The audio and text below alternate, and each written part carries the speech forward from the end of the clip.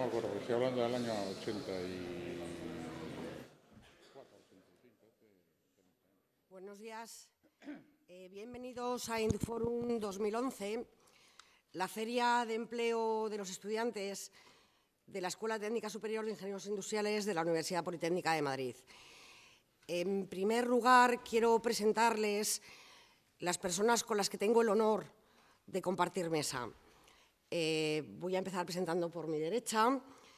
En primer lugar, tenemos a don Fernando Frances Pons, presidente de Everis, a doña María del Carmen Martín Irañeta, presidenta de la Comisión de Educación de la Asamblea de Madrid, a don José Guardiola Saura, representante del comité organizador de la Feria de Empleo en 2011, y a mi izquierda a don Ferran Tarradellas Espuni, representante de la Comisión Europea en España y es portavoz de Energía de la Comisión Europea, y a don Adriano García Luigorri, presidente del Consejo Social de la Universidad Politécnica de Madrid. Me voy a ajustar al tiempo que tengo. Eh, esta es la séptima edición de Induforum, donde todos eh, los alumnos de diferentes titulaciones, de diferentes especialidades, organizan de manera conjunta una feria de empleo. Se constituyen como una empresa eh, organizada en departamentos y contactan con las empresas, gestionan y fruto de un trabajo muy duro, eh, tenemos hoy y mañana esta feria de empleo en la escuela. Este año, y a mí me parece un enorme éxito, contamos con 45 empresas diferentes. Cuando mm, el año pasado terminó Induforum, eh, yo pensaba, qué bien lo han hecho. Y uno a veces piensa, qué reto más difícil tienen los estudiantes del año que viene. Eh, habéis trabajado muy duro y desde luego el valor del trabajo y del esfuerzo se nota. Eh, quiero destacar tres cosas que para mí son relevantes este año respecto a años anteriores, eh, aportaciones nuevas. Desde luego sois muy conscientes del, entorno en que vivís y del momento en que vivís. Eh, fruto de eso em, y de que sois conscientes que vais a trabajar en entornos multiculturales, habéis organizado una mesa de trabajo internacional con la presencia de diferentes embajadas y desde luego quiero felicitaros eh, porque solo haciendo las cosas y poniéndolas eh, de manera activa uno es consciente de dónde está. Em, siempre, y este año aparece todavía más reforzado, eh, en segundo lugar, que no menos importante, habéis organizado una mesa de emprendedores que tendrá lugar hoy a las seis y media. Y por último, algo que, que venís haciendo y que este año eh, habéis eh, metido muchísima energía y habéis reforzado enormemente, son las dinámicas de grupo, que yo creo que es eh, una actividad fundamental. Em, quiero que sepáis que estamos muy orgullosos de vosotros, que habéis trabajado muy duro y me voy a permitir daros solo un consejo. ahora ya es el momento de que disfrutéis de vuestra feria eh, que entreguéis vuestros currículums, que habléis con las empresas y, sobre todo, que disfrutéis de eso que lleváis tanto tiempo preparando. Muchas gracias.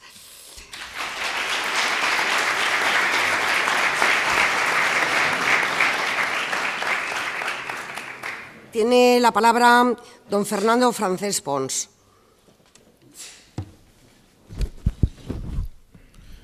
Buenos días he dejado, he confundido a Fernando con Ferran, es lo que tiene el directo. ¿eh? Eh, tiene la palabra don Ferran Tarradelas Puní. Muchas gracias. Eh, al final, Ferran y Fernando es exactamente lo mismo. Es Ferran en catalán. Gracias, gracias por esa. Gracias. Bueno, el otro día leí en la biografía de un consultor de empleo una anécdota que hablaba de ingenieros. Es una anécdota, desde luego, desde hace muchos años, en la que un, licenciado, un, ingeniero, como vosotros seréis o sois ya, eh, en breve le preguntaba al consultor de empleo eh, que le ayudara a, buscar un trabajo una vez que tenía el título de ingeniero.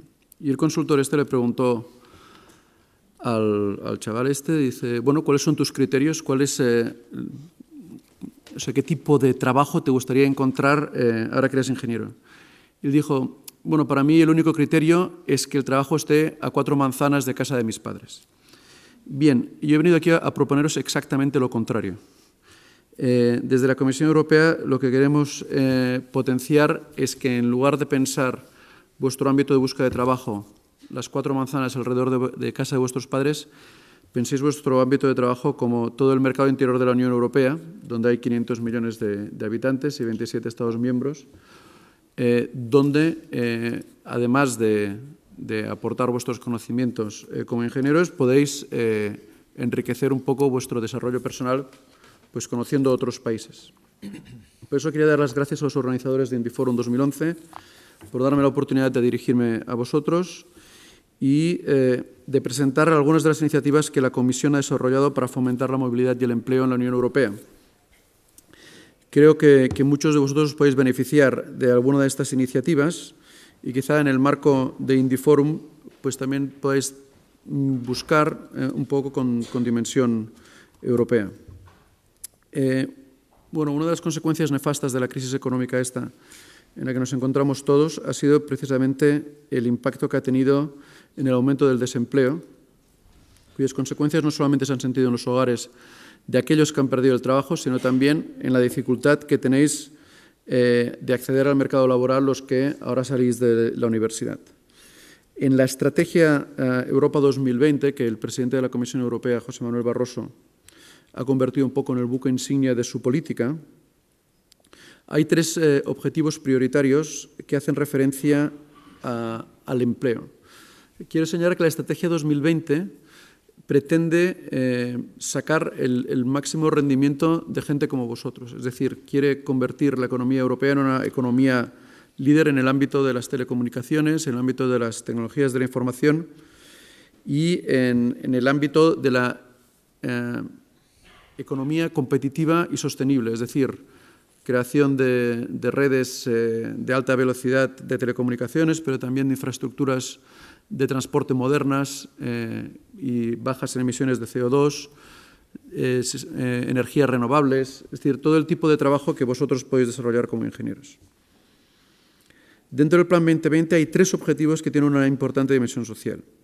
El primero es integrar en el mercado laboral al 75% de personas en edades comprendidas de 20 y 64 años. Actualmente, el porcentaje de gente en esta en este sector de edad que está en el, mercado laboral es del 67, es decir, sería aumentar en siete puntos eh, el número de personas que estén ahí.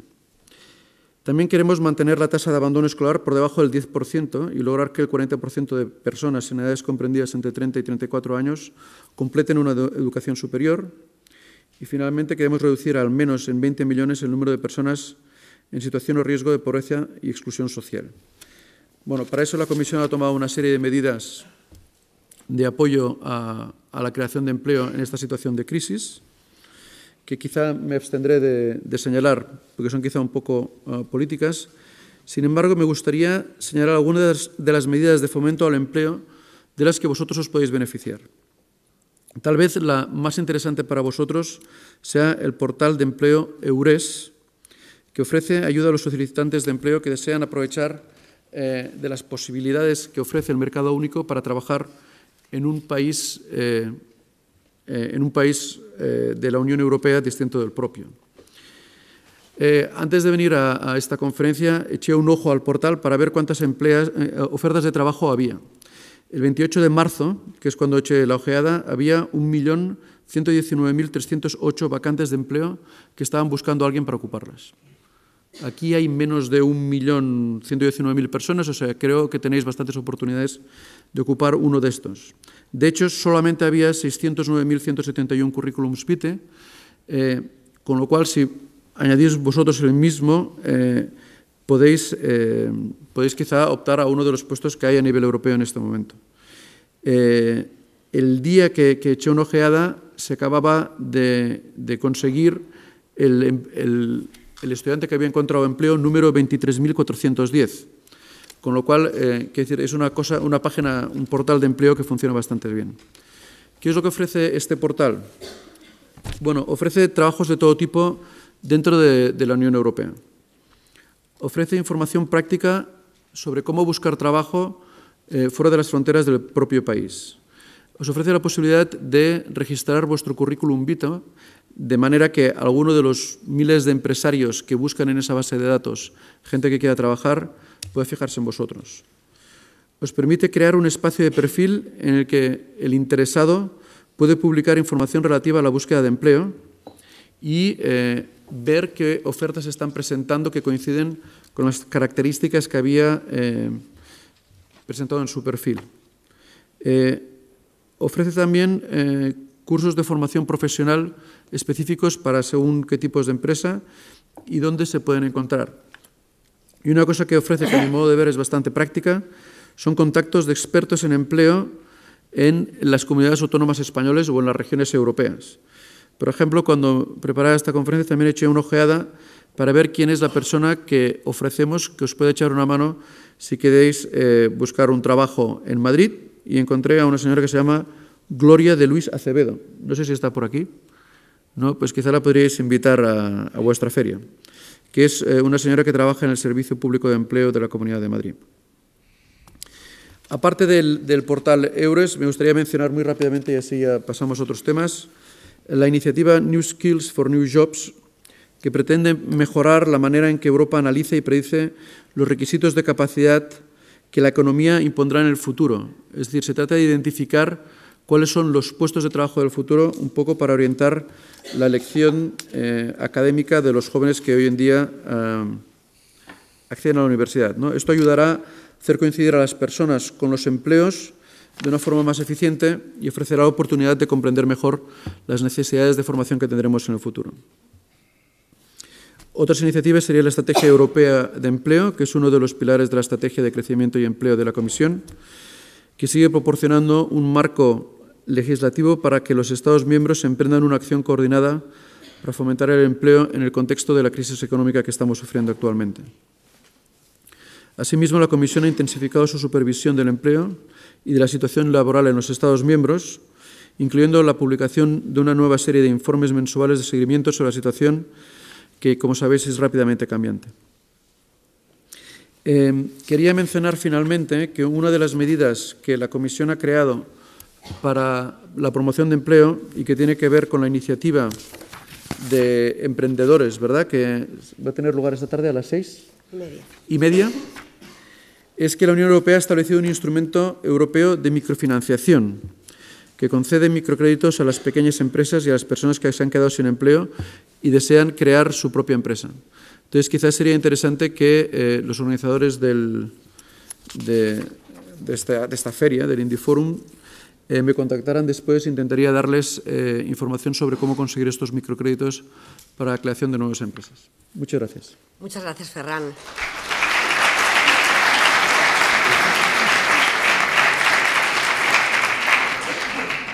Eh, tiene la palabra doña María del Carmen Martín Irañeta, presidenta de la Comisión de Educación de la Asamblea de Madrid. Muchas gracias. Sí, se oye. Muchas gracias. Eh, buenos días. Saludo a todos mis compañeros de mesa y a todas las personas que hoy se encuentran en este foro del empleo eh, en la Comunidad de Madrid, claro, en Madrid. En principio, voy a agradecer al comité organizador y en especial a Jorge Jiménez, que ha sido mi interlocutor, eh, el poder estar aquí hoy con todos ustedes. Para mí es un honor compartir eh, en esta mañana mm, mis ideas con tantos jóvenes como veo aquí que se preocupan por cómo poder ser útiles a la sociedad aportando los conocimientos y habilidades que han adquirido a lo largo de sus años de formación o están adquiriendo a lo largo de sus años de formación. Esta séptima feria del empleo de la Universidad Politécnica de Madrid eh, organizada por los alumnos y para los alumnos, eh, ya nos, hace, nos da una idea de cómo es el modus operandi de la Universidad Politécnica de Madrid, que creo que la universidad sin duda proporciona a sus alumnos las capacidades organizativas de trabajo y de liderazgo tan necesarias en esta época que estamos viviendo e, e imprescindibles en la sociedad actual para incorporarse al mundo laboral. Recientemente, me van a permitir que les, que les eh, cuente una anécdota. Recientemente asistí a un curso para mejora de la educación, uno de los miles de cursos que, asistimos, y mm, se hizo una reflexión de un tema que aunque es un tema conocido por todos, yo nunca lo había visto tan claro y os lo voy a contar a vosotros. Es una simple ecuación, de eso sabéis mucho, ¿verdad? Pues una simple ecuación.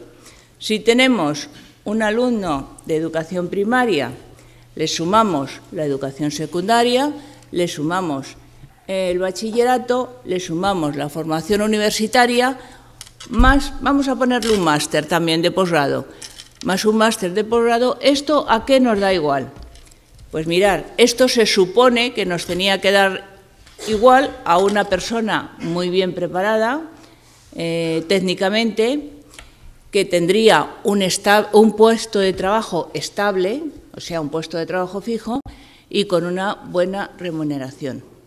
Pues esto hace 20 años se daba en España todos los que salíamos medianamente o bien preparados, tenías tu puesto de trabajo esperándote. En este momento sabemos que es muy difícil eso. Por muy bien preparados que salgáis, os va a costar encontrar trabajo. Por eso hay que, como nos ha dicho el señor Tarradellas, hay que abrir el, espectro de, de la circunscripción de dónde tenemos que ir a buscar ese trabajo. Bueno, entonces, como veréis, la ecuación es muy sencilla, pero ahora no se cumple. Y estoy segura, fijaros, leyendo la página web de la universidad vuestra, he visto que la Universidad Politécnica ya había observado este fenómeno cuando nos presenta una palabra clave en su página, que es el cambio. Efectivamente, el cambio que hay que dar a toda la educación. La educación en España hay que volverla del revés y hay que hacerla nueva porque estamos olvidando una serie de conceptos de formación para nuestros alumnos que luego en la vida se les está exigiendo. Entonces, nuestros alumnos no solo tienen que salir con formación académica, sino que tienen que haber desarrollado una serie de actitudes para que luego sean los mejores y esos puestos de trabajo sean para ellos. En los planes de estudio de la Politécnica vemos se adaptan a las nuevas realidades con objeto de dar respuesta a todos los temas que hoy preocupan a la sociedad, con un sentido educativo amplio, lo que yo decía, y generoso, que se adapte a los nuevos escenarios del conocimiento, no solo a nivel nacional, sino a nivel internacional, como nos ha hablado también el señor Tarradellas. No podemos ir al, al empleo que está más cerca de mi casa, sino tenemos que ir al empleo en el que nos haga ser felices, porque nos guste ese empleo y disfrutemos con nuestro trabajo. Esta adaptación que tenemos que hacer en España de abrirnos un poco la mente y las fronteras en cuanto a, dónde trabajar, no solo lo tiene que hacer España, sino lo tiene que hacer toda la Unión Europea, porque vosotros ya os han hablado que se está creando el Estado Europeo de Educación Superior. Entonces, vamos a ser un gran estado donde la gente podrá, las personas podrán circular de un estado a otro sin ningún problema. Para eso hay que adaptar los planes educativos, que para eso está también el Plan Bolonia, que ya habréis oído hablar de él.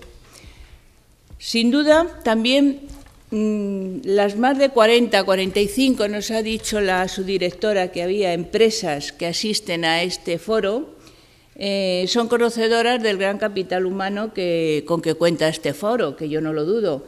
Y estoy seguro que estas 45 empresas no están dispuestas a desperdiciar este capital humano. Estoy seguro os van a dar oportunidades. De todos he sabido que en estos momentos, para que las empresas sean competitivas, lo más importante son las personas, las personas y la formación de esas personas. Por eso, invertir en formación siempre es rentable también para las empresas.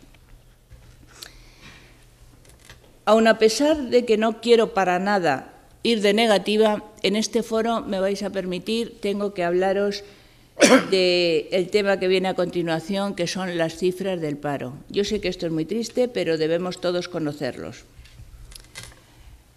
Eh, en España, según mi criterio, que no tiene por qué coincidir con el vuestro, es el mío, eh, por una mala gestión, esto es lo que yo pongo de, mi cosecha, que yo creo que es así, por una mala gestión eh, tenemos un índice de paro el doble que la Unión Europea. Y todos los países están sufriendo la misma crisis que nosotros. Lo que pasa que otros países se pusieron antes a funcionar con, respecto a esta crisis. Nosotros la ignoramos durante mucho tiempo. Esta mala gestión me refería yo. Bueno, pues en, la, en España tenemos un paro de un 20,4 y en la Unión Europea un 9,6. Estos son datos del 2010. Y, y, como os he dicho, todos padecemos la, la crisis económica. Y si hablamos de los jóvenes es mucho más alarmante, porque llegamos en España al 42,8% de, de paro en los jóvenes. Casi la mitad de los jóvenes que están en edad de trabajar están, no encuentran trabajo. Y fijaros, sí, en Europa también hay países más o menos como nosotros, no tan mal como nosotros, ¿eh? pero por ejemplo, pero fijaros qué países son. Eslovaquia, que tiene un 37,3. Lituania, un 35,5. Pero no, a nosotros donde debíamos parecernos y donde debíamos estar es con Holanda, que tiene un 8,2, o con Alemania, que tiene un 8,6, que es donde estábamos hace unos años. La media, os puedo decir que la eurozona es del 20,4 y la, y la eh, Unión Europea de los 27 es del 21%. Como veréis, todas estas cifras están muy alejadas del 42,8%, que es el paro alarmante juvenil que tenemos en España. En la Comunidad de Madrid se está trabajando para disminuir esta brecha de paro y, de hecho, se consigue. Estamos en 5,4 puntos menos que el resto de España, pero somos conscientes, de paro me refiero, pero somos conscientes que eso no es suficiente hay que hacer mucho más. En la actualidad os voy a decir un poco las políticas que está haciendo la Comunidad de Madrid para paliar el paro, como son la red EURES que ya se ha nombrado, que está creada por la Unión Europea para facilitar la movilidad tanto de eh, trabajadores como de empresarios. Un minuto. Se ha premiado también la excelencia académica de 1.500 universitarios con becas de 4.500 euros y tengo que felicitar a la, universidad vuestra, la Universidad Politécnica, porque ha sido los que más alumnos con beca ha conseguido, que han sido 249. Bueno, y como me dicen que solo queda un minuto, pues ya voy a terminar. Se están haciendo más cosas, ¿eh? como el portal Emprendedores, como la ventanilla única para emprendedores, la Feria de Empleo también de la Comunidad de Madrid y de la formación profesional. Y para terminar, quiero decir a los alumnos, felicitaros por la elección de la universidad, que os prepara para el futuro con conocimientos académicos, destrezas y habilidades que os sitúan con una formación acorde para los requerimientos de la sociedad del siglo XXI. Y a la universidad decirle que vio venir muy pronto todos los cambios que tenían que realizar en los planes de estudio existentes para adaptarse no solo al plan de Bolonia, sino lo que es más importante, a las necesidades de los empleadores para seguir alimentando, para no seguir alimentando el paro entre los jóvenes. Sin duda, los pocos o muchos empleos que, que estén disponibles serán ocupados por aquellas personas que hayan recibido una educación más acorde con los tiempos. Y nada más y muchas gracias.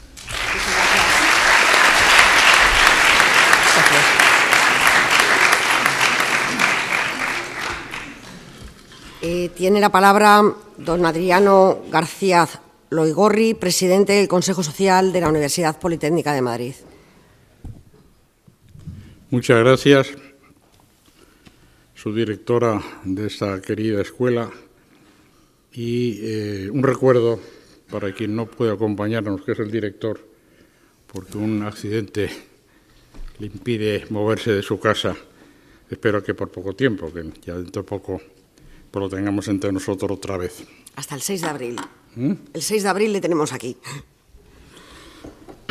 Y saludar al representante de la Comisión Europea en España y es portavoz de la Comisión de Energía en la Comisión Europea, al presidente de la Comisión de Educación de la Asamblea de Madrid, al representante del comité organizador de la Feria de Empleo Forum y al presidente de Everis, la aventura de emprender.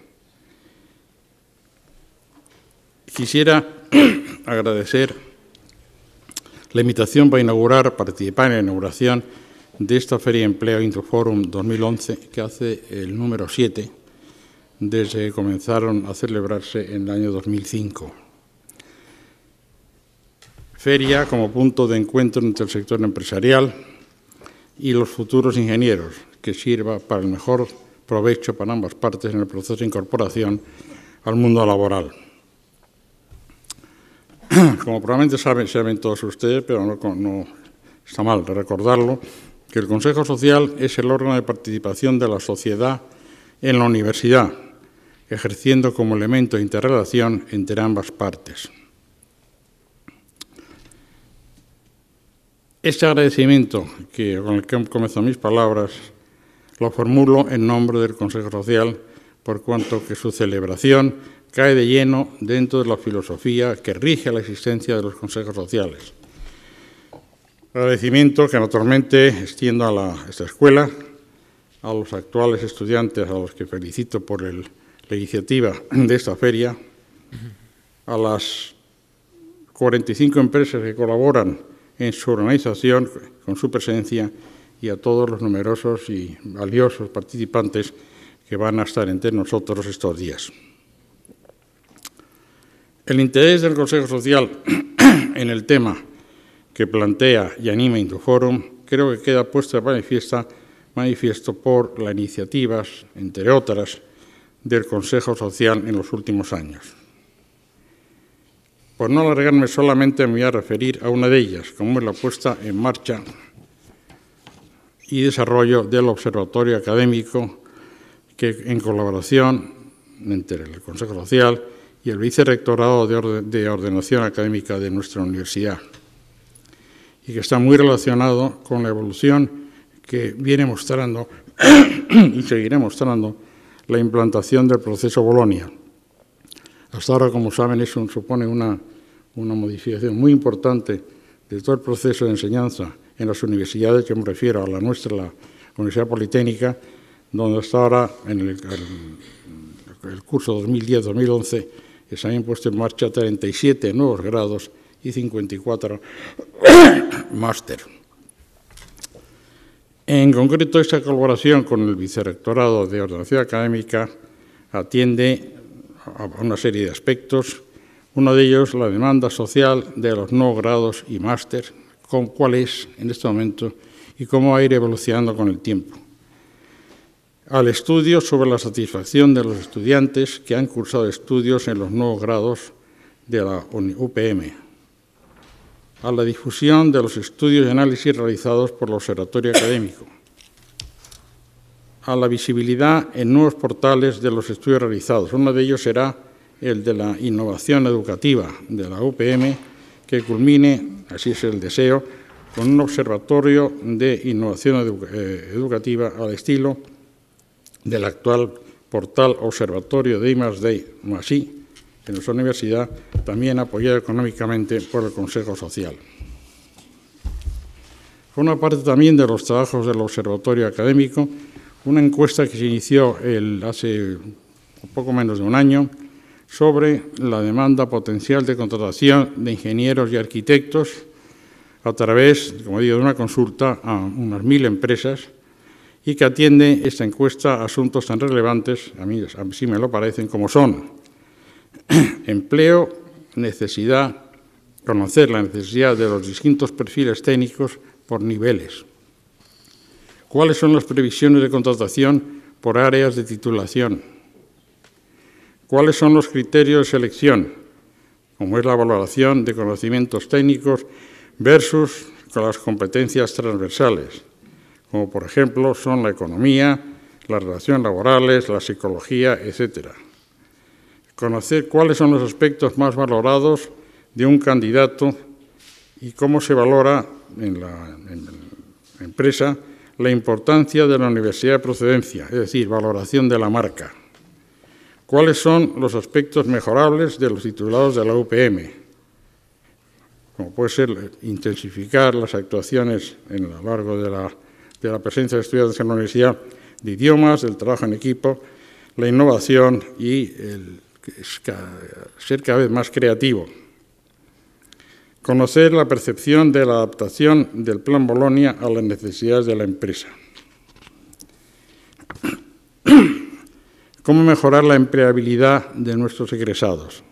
Por ejemplo, en lo que se refiere a formación curricular, intensificar las materias transversales, algunas de ellas las he citado, la formación de posgrado, máster que amplíen y complementen la formación de los grados, lo que podemos llamar como transversalidad, la formación en complementaria en universidades distintas de la de grado, especial, preferentemente la internacionalización, la movilidad, con lo que eso lleva consigo de adaptabilidad, la capacidad para evolucionar lleva consigo una formación continuada y eh, la creación de empresas de bases tecnológicas y el autoempleo. Por su parte, la visión de la empresa ante los nuevos ingenieros, como son exigencias tecnológicas, desarrollos integrales, es decir, soluciones completas, conjunción de especialidades, integración de sistemas complejos, actividad en un entorno global, normativa, diversidad cultural, etc. En definitiva, pensemos en una macroingeniería con un alto nivel de especialización en un contexto mundial, internacional.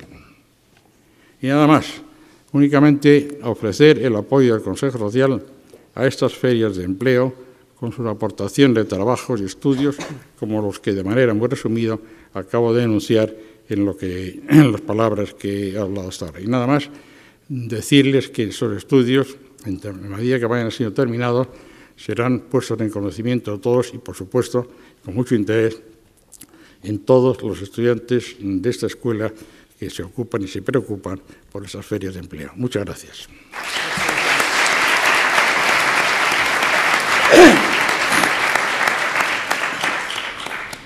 Eh, tiene la palabra don José Guardiola Saura, representante del comité organizador de la Feria de Empleo Induforum 2011.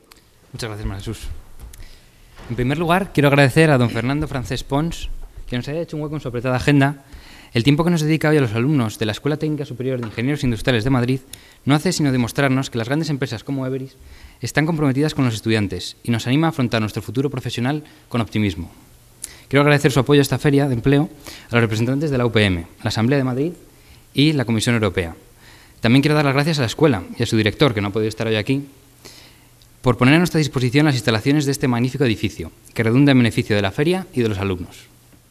Como representante de Induforum 2011 en este acto de inauguración, quiero felicitar a todos los organizadores, aquí presentes, por su esfuerzo y dedicación, pues de forma voluntaria han conseguido que Induforum sea la mejor feria de empleo organizada por y para los estudiantes.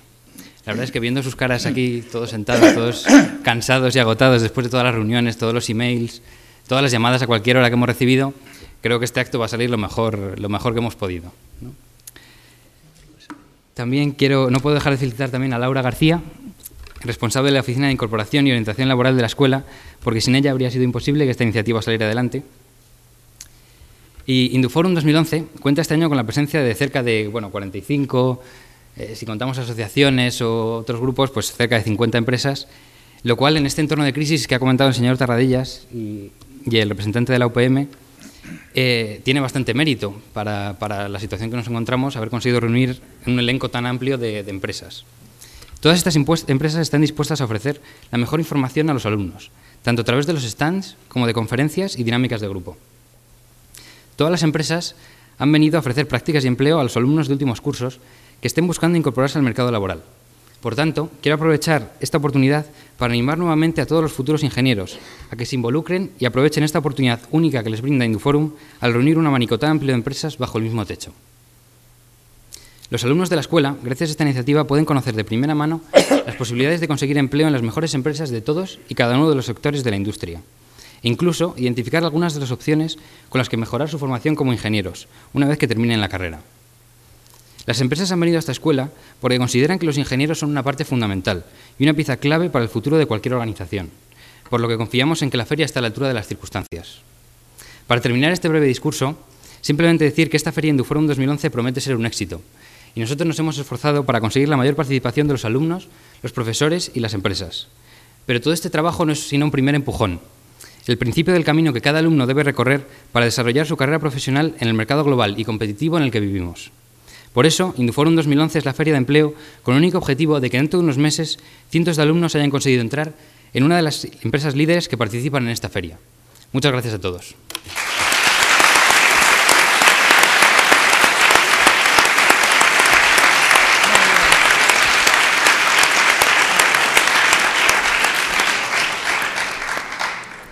Ahora sí, tiene la palabra don Fernando Francens Pons, presidente de Everis, la aventura de emprender.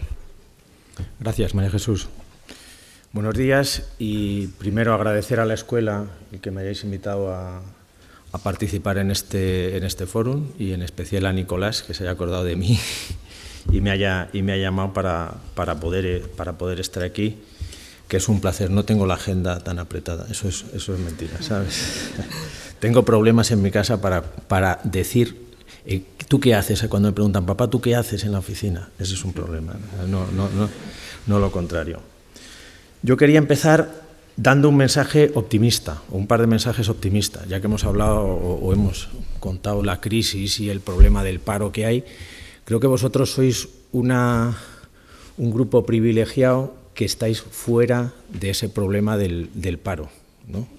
Entonces, en ese sentido, creo que no, no vais a tener mucho problema para conseguir trabajo. O sea, sois unos privilegiados y sois unos privilegiados que os lo habéis ganado. O sea, cualquiera ha podido tener eh, o ha podido ser privilegiado a la edad que tenéis vosotros, pero muchos han elegido otras opciones ¿eh? en algún caso vocacionales y en algún caso más fáciles que la vuestra.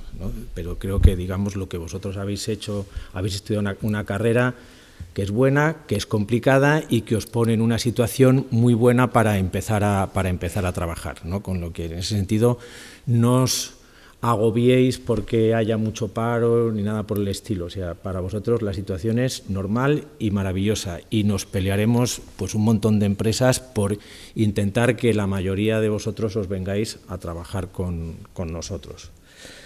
Luego hay otro punto que es la crisis. O sea, la crisis pues es algo que es obvio hablar lo negativo de la crisis, pero la crisis también tiene muchas partes positivas. Entonces, lo que hay que nosotros podemos tener una actitud ante la crisis de que como hay crisis hay una excusa ¿eh? y entonces no hago nada, porque el no hacer nada, bueno, como hay crisis está justificado que no haga nada. Pero también la crisis yo creo que es una oportunidad para hacer más cosas o para conseguir cosas que en época de no crisis no se pueden conseguir. Aquí os puedo poner un ejemplo, si queréis, de deporte. Si, si vosotros una carrera al Tour de Francia, ciclismo, pues eh, digamos la carrera no se gana en una etapa fácil. ¿eh? Los buenos se ven que son buenos en las etapas muy difíciles, cuando hay montaña y está complicado. Pues ahora hay crisis y ahora es el momento donde probablemente son años más decisivos en el ámbito profesional, porque estamos hablando de crisis económicas, para todos nosotros una época de crisis que una época de no crisis. En una época de no crisis, la diferencia relativa que vamos a tener respecto a otros va a ser baja. Nos va a ir a todos muy bien, vamos a estar todos muy contentos, pero va a haber poca, poca diferencia. En una época de crisis es donde probablemente nos podemos posicionar o mucho más arriba o si nos descuidamos y nos dejamos llevar, cuando acabe la crisis nos vamos a dar cuenta que estamos mucho más abajo. Entonces creo que es un momento no para decir, bueno, como hay crisis no hago nada, creo que al revés. Hay que tener una actitud mucho más atenta y hay oportunidades. Y además, en crisis hay menos oportunidades, pero como suele ocurrir que hay mucha más gente desanimada y que no lo intenta, pues entre los que lo intentan hay más oportunidades en época de crisis que entre los que lo intentan en época de no crisis, porque en época de no crisis lo intenta todo el mundo.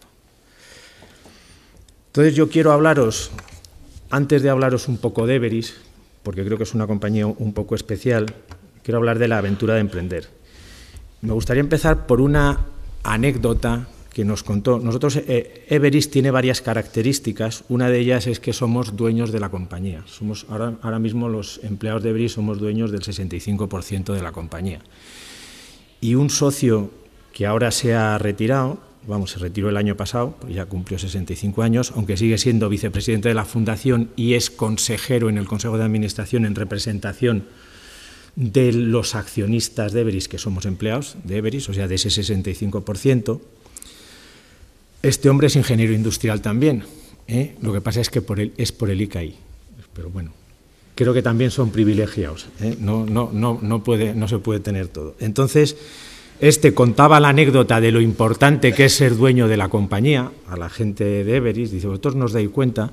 Dice, yo con vuestra edad tampoco me, daba cuenta. Dice, yo me acuerdo que cuando acabé la carrera, dice, pues eh, nada más acabar la carrera, conseguí trabajo en una empresa multinacional de informática. Y esto era pues en los años eh, a principio de los, de, los 70 y, consiguió trabajo en Univac en Esperri Univac, que ahora se llama Unisys, me parece, porque se ha fusionado.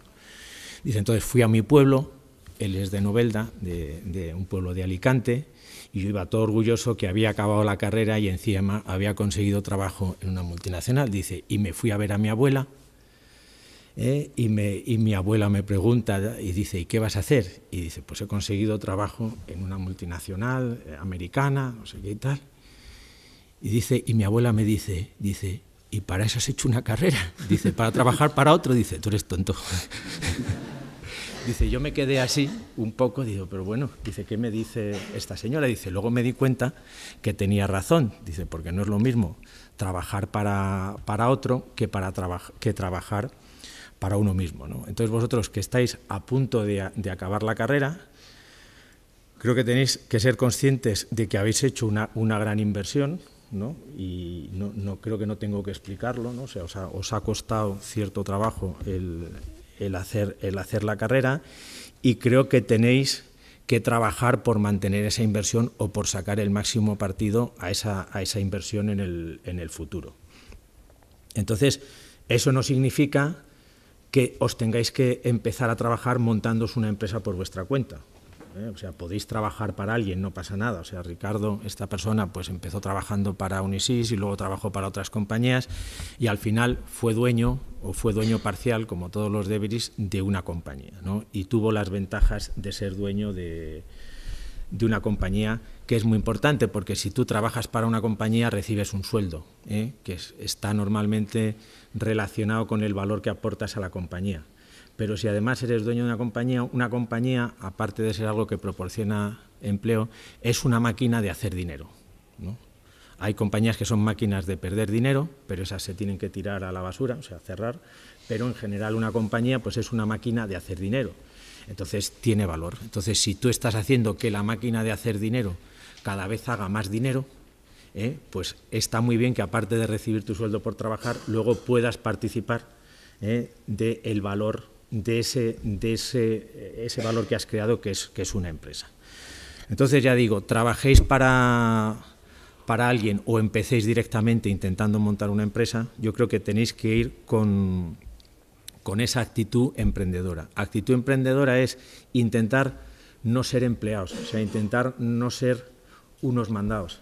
Es muy fácil decir, bueno, tú dime lo que tengo que hacer y yo, y yo haré eso. Yo creo que vosotros tenéis capacidad para, bueno, aparte de al principio decir qué queréis que haga, intentar por vosotros mismos pensar, oye, ¿cómo doy yo más valor a la compañía? ¿no? Que también es algo que os hará fuertes. O sea, digamos, normalmente nadie os va a subir el sueldo si estáis trabajando para alguien porque diga, coño, qué, bien me cae este hombre, le vamos a subir el sueldo. ¿eh? Probablemente lo que va a pensar es, este hombre da mucho valor, ¿eh? si yo no soy capaz de tenerle contento, pues lo voy a perder, ¿eh? porque se va, a ir, se va a ir a otro sitio. Entonces yo creo que de lo que nos tenemos que preocupar es de dar valor, y de lo que nos tenemos que preocupar siempre es de intentar ver cómo puedo hacer las cosas, las cosas mejor. Probablemente como sociedad, y esto no incluye a este grupo, pero puede incluirlo si nos dejamos, si nos dejamos llevar, lo bueno de que no haya crisis económica, que es lo que hemos tenido durante muchos años hasta hace, hasta hace tres o cuatro aproximadamente, es que todo va bien, se vive muy bien, es una maravilla, pero tiene un efecto secundario muy, negativa, que es, muy negativo que es que nos hace dependientes. O sea, digamos ahora cuando tenemos la crisis exigimos, estamos buscando a alguien para que nos dé empleo o para que nos dé trabajo o para que nos solucione los problemas, cuando los problemas los tenemos que solucionar nosotros. O yo creo que es mejor quien depende de sí mismo que quien tiene que depender de los demás. Vosotros, como digo, estáis en una situación bastante privilegiada y yo creo que es importante tratar de no renunciar nunca a depender de vosotros mismos. Entonces, por eso digo que esa actitud que tengáis en el trabajo, tanto si en algún momento consideréis que tenéis la experiencia necesaria y decís, pues ahora me quiero montar por mi cuenta, como si seguís trabajando para alguien, intentar pues, ser conscientes de que tenemos que dar mucho valor, tenemos que ver cómo soy capaz de dar valor, cada vez más valor, ¿no? Y bueno, pues eh, de alguna manera eso os mantendrá libres y os mantendrá pues probablemente contentos donde estéis trabajando porque os cuidarán bien si son inteligentes, ¿eh? porque querrán que sigáis dando valor, y si no tendréis capacidad o, iréis adquiriendo capacidad para, si no estáis contentos donde estáis, o elegir otro sitio o buscar eh, trabajo por, por vuestra cuenta.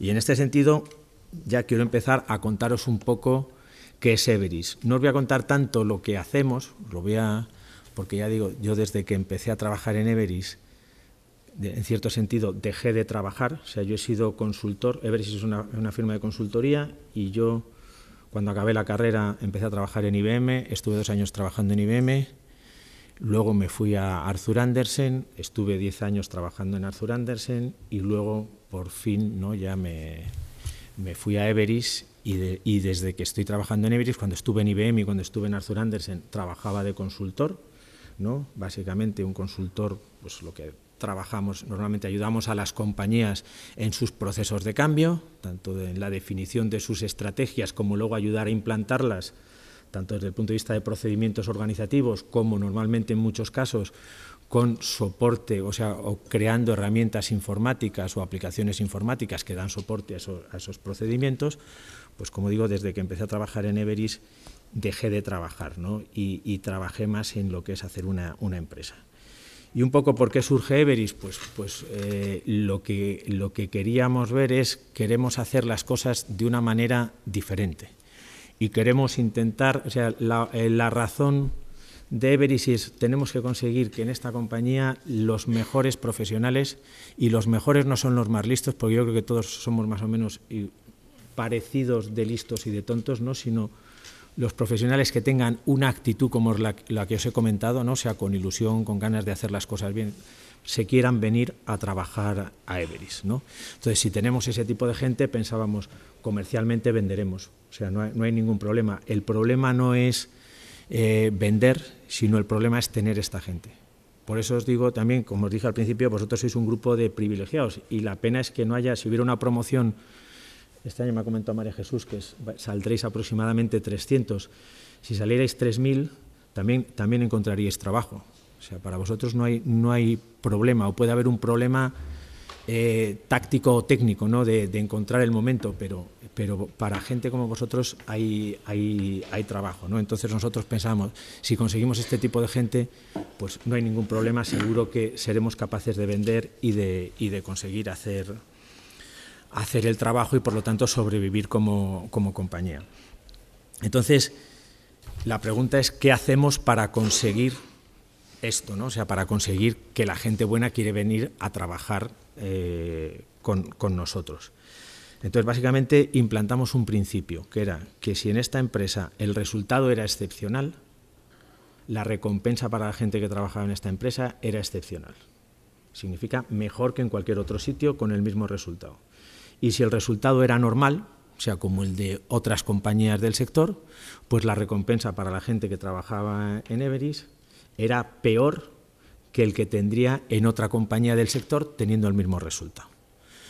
Yo me acuerdo esto también con un ejemplo de deportes, cuando la presidenta de la Comunidad de Madrid nos vino a visitar la primera vez, porque éramos 3.000 personas, esto era eh, justo coincidiendo con el periodo de declive del Madrid Galáctico, o sea, digamos, el periodo de declive de la primera época de Florentino Pérez, que es ingeniero de caminos, es también competidor, competidor vuestro, no sé si más que los de ICAI o menos, pero también, también un competidor. ¿no? Entonces, eh, nos dice, ¿y por qué tenéis tanto éxito y os va tan bien? ¿no? Digo, bueno, porque nosotros tenemos un método de incentivación diferente al que tienen el resto de compañías. Y dice, ¿cómo es eso? Digo, mira, el Real Madrid ahora tiene, yo creo que tenía ocho galácticos de estos, ¿no? O sea, estaba Raúl, Figo, Zidane, Ronaldo, Owen, Beckham. Digo, estos ganan 6 millones de euros cada uno, que era el sueldo que tenían, ¿no? De, sí, digo, y estos por ganar la liga, pues a lo mejor ganan 200.000 euros más. Y por ganar la Champions, pues deben ganar otros 200 o 300.000 euros más. Digo, sí, pues así. Digo, bueno, pues si estos estuvieran, si nosotros fuéramos un club de fútbol, en vez de pagarles 6 millones a cada uno de estos, eh, por su calidad y tal, en, en vez de 6 les pagaríamos un millón. Y luego por ganar la liga les pagaríamos 6 y por ganar la Champions otros 6. Digo, entonces, ¿dónde puedes ganar más dinero? ¿Eh? Eh, de, qué manera puedes ganar más dinero? Pues depende, ¿no? Si, si piensas que vas a ganar, eh, que eres muy bueno y que vas a ganar la Liga y la Champions, no te vas al Real Madrid, te vas al Everest Club de Fútbol. Si no estás seguro, pues haces lo contrario, ¿no? Entonces, de alguna manera, esta era la filosofía que teníamos. Que teníamos.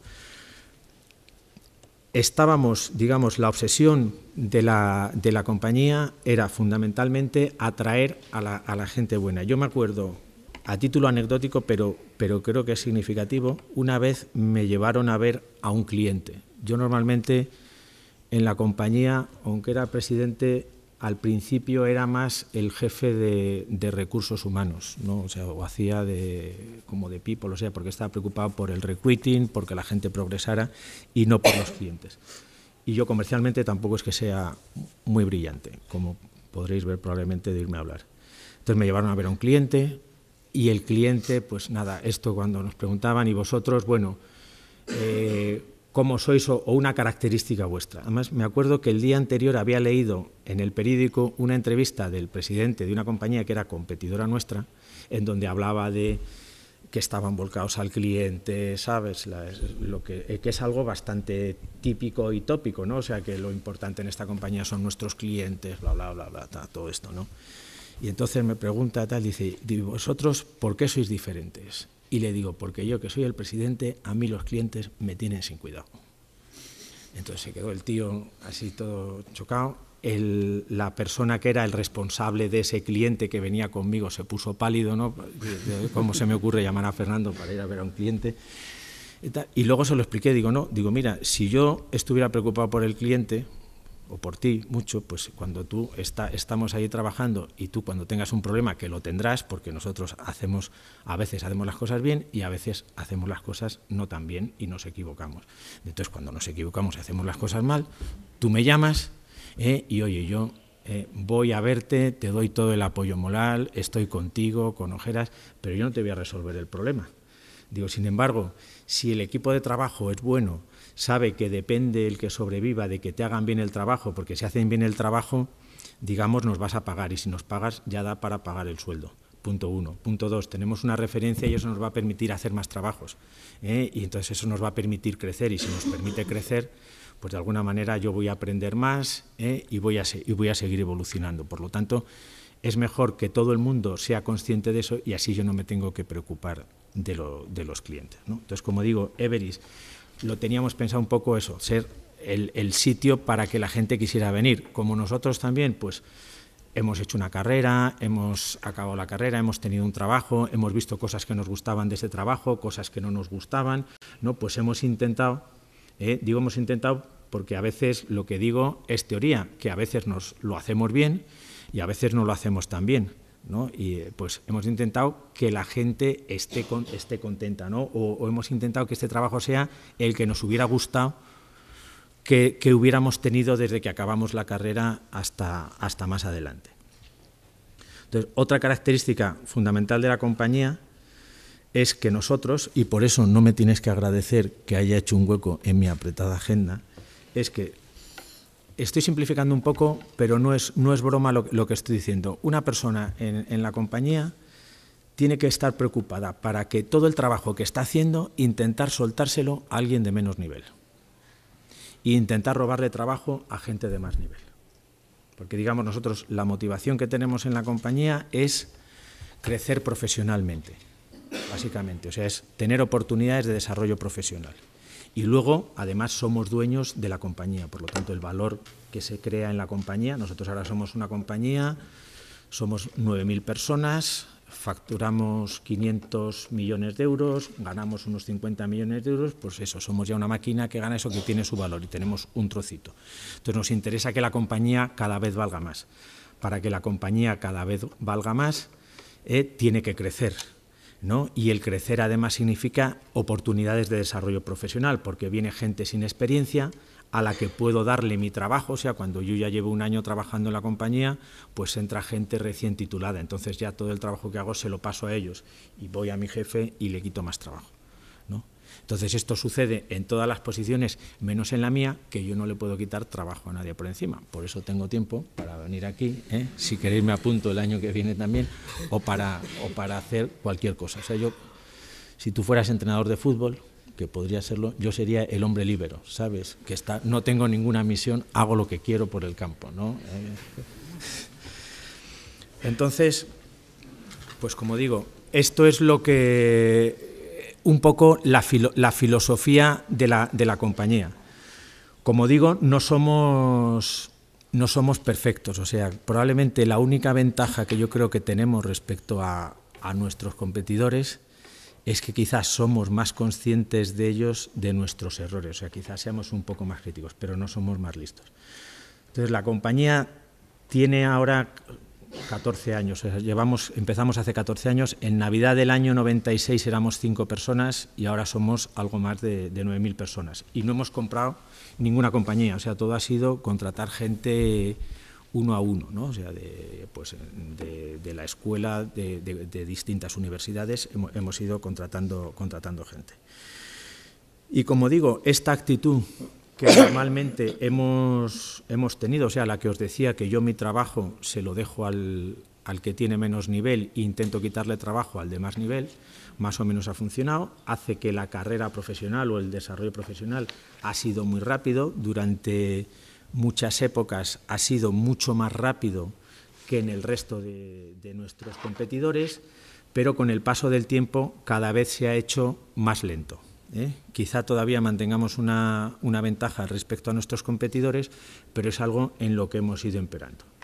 Simplificando un poco, ¿eh? y simplificando no quiere decir obviando cosas importantes, probablemente lo más importante es que en algún momento nos, hicimos egoístas y en vez de ser generosos y nuestro trabajo dejárselo a gente de, menos nivel, pues nos hacemos menos emprendedores porque el emprender tiene una componente de riesgo y cedíamos menos nuestro trabajo al de abajo porque no nos atrevíamos a coger trabajo de arriba o en el caso de un socio, o sea, pues a generar trabajo nuevo, ¿no? Y esto pues nos llevó a una especie de degeneración y también digo, gracias a la, a la crisis eh, económica, por eso digo, no todos son malas noticias debido a la, a la crisis económica, nosotros en el año 2009 tuvimos un resultado económico bastante malo. El resultado económico fue que crecimos un 2% respecto al año 2008, que si bien se produjo en un momento en el que el mercado en nuestro sector decreció un 9%, y podíamos haber dicho, bueno, pues estamos en crisis, no se puede hacer otra cosa, eh, eh, es lo que hay, bastante es que no hemos decrecido, pero claro, para nuestro, para nuestro modo de, o nuestra filosofía de compañía nos sirve, porque crecer un 2% no supone tener un resultado excepcional, supone tener un resultado bastante mediocre, supone el frenar las oportunidades de desarrollo profesional, porque implica que casi no contratas gente nueva e implica que entonces no cedes trabajo a la, gente de, abajo. ¿no?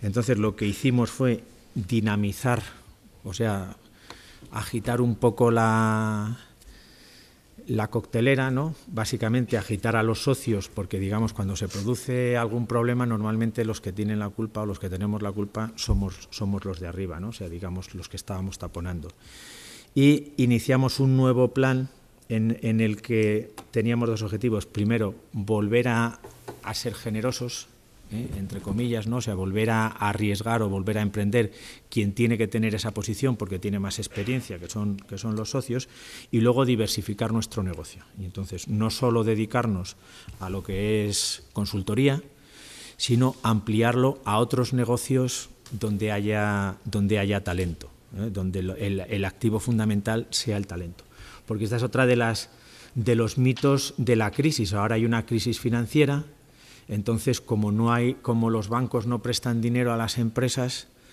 pues no se puede hacer nada, no se pueden hacer empresas. Pero cada vez más las empresas dependen del capital humano que del capital financiero.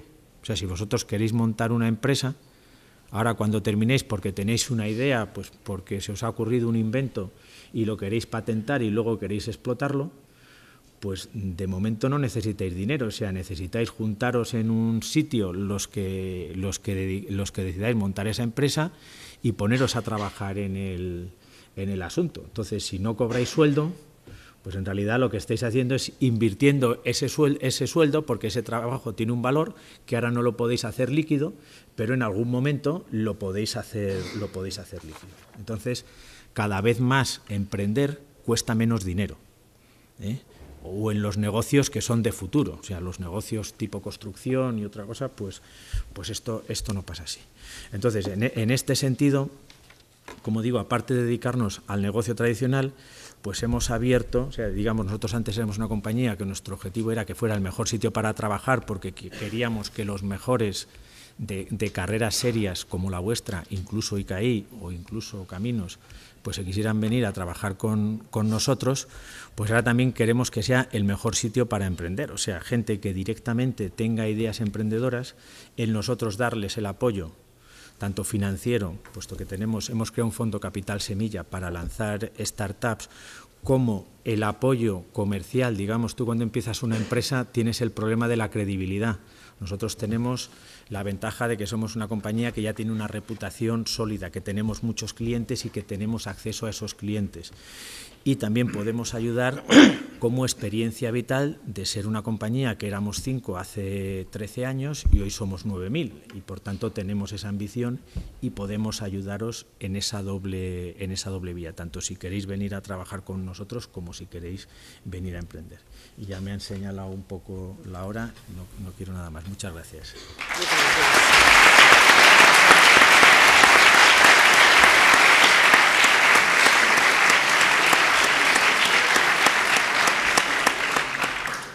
Eh, voy a abrir un turno muy cortito de preguntas por si alguien quiere realizar alguna pregunta a alguno de los ponentes de la mesa.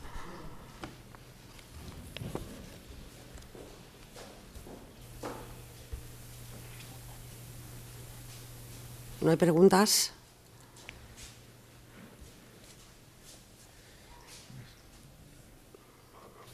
son muy tímidos o somos te, te iba a decir que te pusieras de pie, pero veo tus muletas, no te pongas de pie. Habla alto.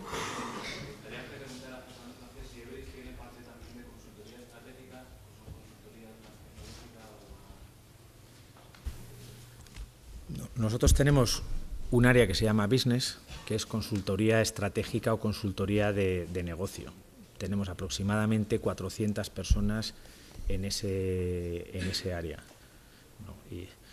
o sea que sí, sí tenemos área de consultoría estratégica.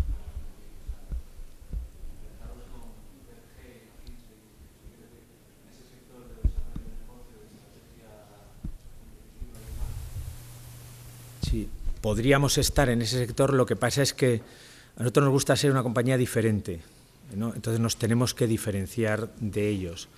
Probablemente ellos son mejores que nosotros porque tienen una posición ganada de, mucho tiempo y hacen bien una serie de cosas. Probablemente nuestra ventaja respecto a ellos es que tenemos más capacidad de aterrizar la estrategia que ellos. O sea, probablemente el mercado vea que ellos hacen mejor la estrategia, pero luego hay que aterrizarla. ¿eh? Y nosotros probablemente acompañamos más en el proceso de luego aterrizar esa estrategia. ¿Alguna pregunta? Bueno, pues queda inaugurado Induforum 2011.